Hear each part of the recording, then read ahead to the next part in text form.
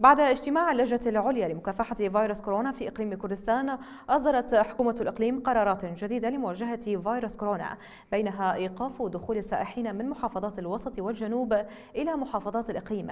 كذلك استمرار دوام المدارس والجامعات مع التأكيد على الالتزام بالشروط الصحية.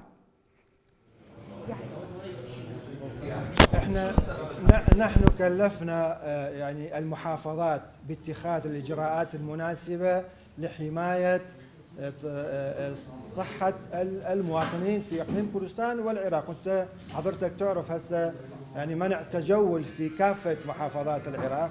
يبدو أن الوضع الصحي يعني في وضع يعني ليس بجيد يعني بوضع سيء. وهذا ما دفع باللجنة عليا لمكافحة فيروس كورونا أن تتخذ هذا الإجراء الاحترازي.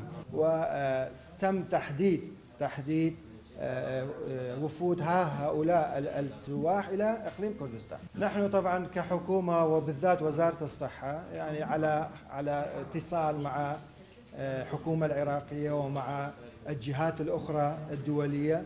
يعني نتمنى أن يصل اللقاح في أقرب وقت ممكن ووفق برنامج تم وضعه من قبل وزارة الصحة بالتوافق مع وبالتنسيق مع وزارة الصحة في العراق. تم إعطاء الصلاحيات للمحافظات لاتخاذ الإجراءات اللازمة فيما يتعلق بحفاظ على صحة الجميع ليس فقط في الإقليم ولكن حتى السواح الوافدين من المحافظات الأخرى من العراق للإقليم.